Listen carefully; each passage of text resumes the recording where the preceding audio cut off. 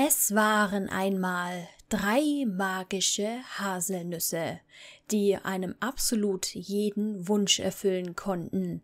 Dazu ein treuer Hund, ein cooles Pferd und eine süße Eule.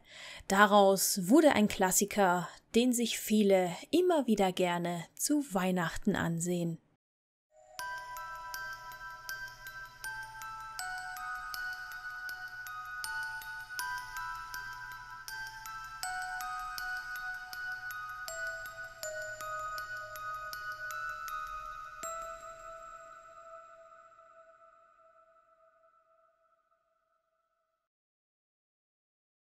Hallöchen! Es ist wieder soweit. Eine neue Folge Original Stories. Dieses Mal befassen wir uns mit den beiden Geschichten, die als Inspiration für den Film Drei Haselnüsse für Aschenbrödel gedient haben. Ich denke, die meisten von euch werden diesen Film kennen. Drei Haselnüsse für Aschenbrödel ist hierzulande ja der klassische Weihnachtsfilm. Die deutsch-tschechische Produktion erschien im Jahr 1973, hat wie gesagt bis heute Kultstatus und auch eine große Fanbase nach wie vor. Die Drehorte werden gut besucht, immer noch, und es gibt auch Ausstellungen wo man die Kostüme und so weiter ansehen kann. Ja, der Bann, die Faszination an diesem Film ist auch nach so vielen Jahren ungebrochen. Für die, die das nicht wissen, Drei Haselnüsse für Aschenbrödel ist eine abgewandelte Version von Aschenputtel. Darüber haben wir schon in einem anderen Video gesprochen. Aschenbrödel ist eine junge Frau, die mit ihrer Stiefmutter und Stiefschwester unter einem Dach leben muss. Während die zwei vom Erbe des Vaters in Sors und Braus leben, muss Aschenbrödel im Haus als Dienstmagd arbeiten und wird auch sonst alles andere als gut behandelt. Das Blatt scheint sich zu wenden, als Aschenbrödel drei magische Haselnüsse findet, die jeden Wunsch erfüllen. Aschenputtel ist ja eines von diesen bekannten Märchen, wo man nicht mehr genau sagen kann, wer das erfunden hat und wo es auch viele Versionen gibt. Die Handlung des Films ist eine Mischung aus der sehr bekannten Version der Brüder Grimm und der Variante einer tschechischen Schriftstellerin namens Bosena Nemkova. Ich weiß leider nicht, wie man das genau ausspricht.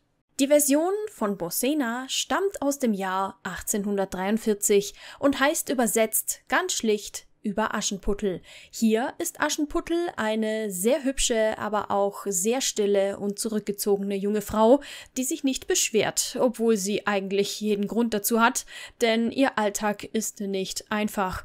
Seitdem der Vater wieder geheiratet hat, gibt die Stiefmutter zusammen mit ihrer eigenen Tochter Dora, die sie mit in die Ehe gebracht hat, den Ton im Haushalt an. Aschenputtels Vater ist nicht in der Lage, da etwas zu machen. Er ist auch eher ruhig und zurückgezogen. Selbst die Tatsache, dass seine neue Frau seine eigene Tochter als Dienstmagd hält, ignoriert er, weil er es vorzieht, der Diskussion aus dem Weg zu gehen. Aschenputtel erhält ihren Spitznamen, weil sie immer die Arbeit zugeteilt bekommt, bei der man besonders viel Staub und Schmutz abbekommt. Eines Tages geht der Vater zur Messe. Er fragt seine beiden Töchter, ob sie etwas aus der Stadt haben wollen, wenn er schon mal da ist.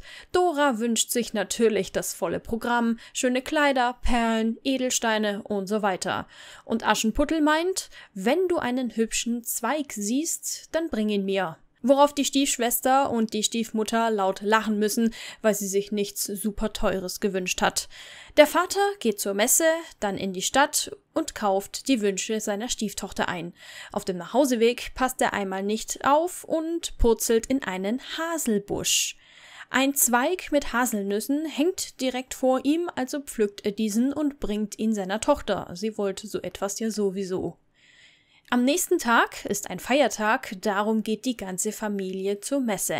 Aschenputtel darf nicht mit, die Stiefmutter sagt, man möchte sich mit ihr nicht blamieren, denn sie hat ja nur dieses eine Kleid. Sie vermischt Asche mit Linsen und sagt, hier aussortieren, damit du gut beschäftigt bist, während wir fort sind. Als alle aus dem Haus sind, geht das Aschenputtel erstmal zum Brunnen, um sich zu waschen und um sich auch ein bisschen zu sammeln. Gerne wäre sie mal wieder in die Kirche gegangen. Auf einmal fällt ihr aus lauter Unachtsamkeit der Haselnusszweig ihres Vaters aus der Hand und fällt in den Brunnen. Ehe sie sich versieht, springt ein Frosch empor und legt eine Haselnuss auf den steinernen Rand mit den Worten Mach es auf Was du darin findest, ist dein. In der winzig kleinen Haselnuss ist ein mehr als wunderschönes Sommerkleid. Aschenputtel freut sich, sie kann doch zur Messe, aber dann fällt ihr ein, sie muss doch im Haus noch ein paar Arbeiten verrichten. Da erscheinen Tauben, die anfangen, diese zu verrichten. Sie kann also doch gehen. In der Kirche interessiert sich dann keiner mehr für die Messe, nicht einmal der Pfarrer selbst. Alle sind hin und weg von der schönen Unbekannten in dem mehr als anmutigen sonnengelben Kleid. Alle fragen sich, wer ist das? Nicht mal ihre eigene Familie erkennt sie. In der Menge sitzt auch ein Fürst, der sich denkt, yep, diese Frau heirate ich.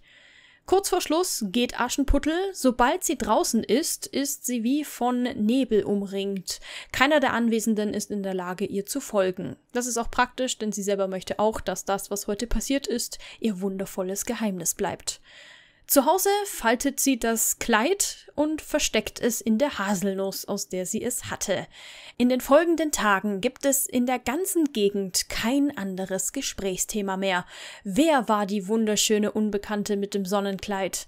Bei der nächsten Messe kriegt Aschenputtel wieder unnötige Sortierarbeiten. Aber der sprechende Frosch taucht erneut auf mit einer weiteren Haselnuss. Dieses Mal ist ein Mondkleid darin und wieder helfen Tauben aus, damit Aschenputtel zur Messe kann. Wieder beachten alle nur die schöne Unbekannte. Dieses Mal ist der Fürst bereit, sie anzusprechen, doch er schafft es nicht. Er ist zu langsam. Alle sprechen wieder in den darauffolgenden Tagen über die wunderschöne Frau, während Aschenputtel genießt und schweigt. Der nächste Sonntag steht an, Auftritt sprechender Frosch mit Haselnuss und Oberkuhle helfende Tauben. Dieses Mal erhält Aschenputtel aus der Nuss ein Edelsteinkleid und der Name ist Programm. Das Kleid ist übersät mit eingenähten Edelsteinen der feinsten Art. Jetzt reicht es dem Fürsten. Er war sich schon beim ersten Mal sicher, das ist die Frau fürs Leben. Er schafft es am Ende, die für ihn unbekannte Schöne zu stellen, aber sie kann sich lösen und im Nebel verschwinden, verliert dabei einen Schuh. Was nun kommt, sollte klar sein, der Fürst sucht mit diesem Schuh nach der Frau, Stiefschwester Dora errechnet sich Chancen, obwohl sie einen übergroßen C hat. Kein Problem, sagt die Mutter, den machen wir einfach ab. Dora macht das, ohne mit der Wimper zu zucken, weil, hm, das tut man nicht alles, um Fürstin zu werden. Beinahe hätten sie es geschafft. Als der Fürst ankommt, passt der Schuh. Doch da erscheint ein Hahn, der den Plan der Stiefmutter prompt verpetzt und mitteilt, dass der Fürst sich der anderen Tochter des Hauses widmen soll. Das sei diejenige, die er sucht. Ja, Aschenputtel bekommt endlich, was sie verdient, einen netten und auch noch sehr reichen Ehemann von hohem Stand, der sie obendrein auch noch anbetet. Bevor sie abfahren, bedankt sie sich beim sprechenden Frosch, den Hahn setzt sie in die Kutsche, besser, dass sie den mitnimmt. Die Tauben kommen auch, ebenso wie ihr Vater. Stiefmutter und Stiefschwester bleiben zurück, ohne Liebe und ohne Freunde. Ja, war das nicht süß? Man merkt viele Parallelen zum Film, auch zu anderen bekannten Märchen. Ein Hauch vom zum Beispiel Froschkönig ist auch dabei. Ich persönlich habe den Part mit dem Hahn am meisten gefeiert. Das war klasse. Kommen wir zur Version der Brüder Grimm. Da gibt es ja auch mehrere. Der Film basiert auf der zweiten Auflage von 1819 was ich ehrlich gesagt gar nicht verstehen kann, denn die erste Version von 1812 ist viel spannender, logischer und auch lustiger. Aber gut. Die Geschichte beginnt mit der Mutter von Aschenputtel, die krank wird. Eines Tages ruft sie ihre kleine Tochter zu sich und sagt ihr, dass sie immer ein braves Mädchen sein soll. Sie werde vom Himmel aus auf sie aufpassen. Dann schließt sie ihre Augen. Für immer. Der Vater des Mädchens heiratet daraufhin bald wieder. Die neue Frau bringt zwei Töchter mit in die Ehe. Die drei nehmen nach ihrem Einzug absolut alles im Haus an sich. Kleider, Juwelen und so weiter. Ihre Schwester führen sie in die Küche. Sie bekommt ab jetzt nur noch Brot zu essen, muss als Dienstmagd arbeiten und wird von da an nur noch Aschenputtel genannt, weil sie in der Küche auf dem Boden in der Asche schläft. Der Vater macht wieder keine Versuche, etwas dagegen zu unternehmen. Hier ist es auch wieder so, dass der Vater zur Messe geht und seine Tochter fragt, ob er ihnen etwas aus der Stadt mitbringen soll. Die Stiefschwestern wünschen sich auch hier wieder Bling Bling und teure Kleidung, während Aschenputtel den ersten schönen Zweig haben will, den der Vater erblickt. Er findet wieder einen mit Haselnüssen daran, nur dieses Mal pflanzt Aschenputtel diesen ein, dort wo ihre Mutter begraben ist. Eine Träne fällt auf diesen Zweig und schwupps steht da ein Baum, der jeden Wunsch erfüllt. Mann, was für eine Wendung. Es wird nicht gesagt, was sie sich wünscht, nur dass sie danach dreimal am Tag zu diesem Baum geht, um sich etwas zu wünschen. Und jedes Mal erscheint ein Vogel, der ihr bringt, was sie wollte. Dann lässt der König verlauten, dass sein Sohn eine Gemahlin sucht. Dazu wird es die nächsten drei Tage jeden Abend einen Ball im Schloss geben. Aschenputtel darf natürlich nicht mit. Die Stiefmutter meint, sie hat noch zu viel zu tun. Aschenputtel ruft daraufhin Tauben zu sich, die ihr helfen, nur um dann festzustellen, dass die Mutter sagt, es ist ihr egal, ob sie fertig ist, sie bleibt zu Hause, sie wollen sich ja nicht blamieren mit ihr. Und außerdem kann sie gar nicht tanzen, was will sie da?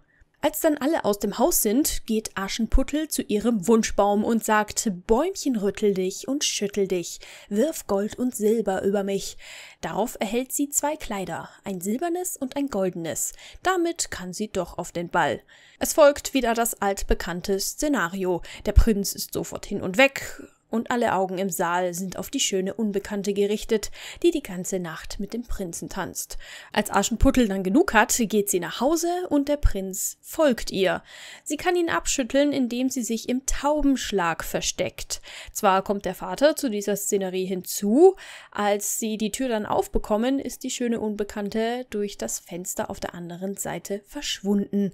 Der Vater sagt zwar, das kann eigentlich nur das Aschenputtel gewesen sein, aber weil man diese dann schlafend in der Küche findet, denkt er, ja gut, da habe ich mich geirrt.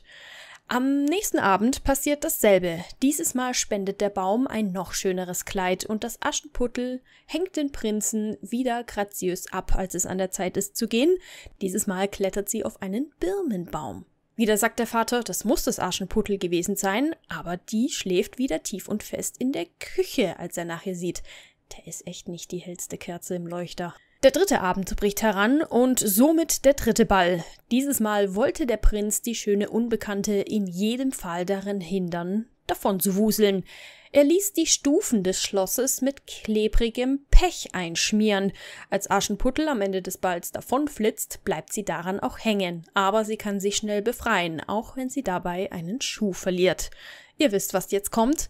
Auch diese Stiefschwestern errechnen sich eine Chance, den Prinzen zu überlisten, nach dem Motto, was nicht passend ist, wird passend gemacht. Alles für Rang und Namen. Die offizielle Begründung lautet, wenn man Königin ist, dann muss man sowieso nie wieder laufen, also wozu funktionierende Füße besitzen. Da ist tatsächlich was dran. Erst versucht es die eine Stiefschwester und dann die andere, jedoch verraten die Tauben jedes Mal dem Prinzen, dass er da die falsche Dame ins Schloss bringt. Aschenputtel wird schließlich entdeckt und die Stiefschwestern versuchen sich prompt bei ihr einzuschleimen, damit auch sie im Schloss leben dürfen. An dieser Stelle war dann das Maß für die Tauben voll. Sie entscheiden, es reicht. Die zwei sind in Zukunft ohne ihr Augenlicht besser dran und setzen dieses Vorhaben sofort um. Aschenputtel fährt mit dem Prinzen davon und die Stiefschwestern sind nun zur Strafe auf ewig blind. Ja, das waren die beiden Aschenputtel-Versionen, die den Film Drei Haselnüsse für Aschenbrödel inspiriert haben. Man merkt schon, wo man sich was abgekupfert hat und dennoch wurde einiges für den Film dazu erfunden, ist ja auch ganz richtig. Vieles davon hätte man sehr schlecht bis gar nicht umsetzen können. Das ist ja auch ein Kinderfilm. Die Grimm-Version hatte ich persönlich irgendwie gar nicht mehr auf dem Schirm. Aber gut, wir haben bei beiden wieder das übliche Szenario. Beide Hauptfiguren sind in unschönen Situationen und akzeptieren das vollkommen. So war das in der damaligen Zeit. Frauen sind zarte Geschöpfe, die nicht in der Lage sind, aus eigener Kraft aus so etwas herauszukommen. Aber man wird belohnt, wenn man sich nie beschwert. Nee, das ist nicht so. Die Zeiten haben sich zum Glück ein wenig geändert. Welche Version hat euch gefallen? Habt ihr beide gekannt oder kennt ihr auch wieder eine ganz andere Version? Ich bedanke mich fürs Zuhören. Bis zum nächsten Mal.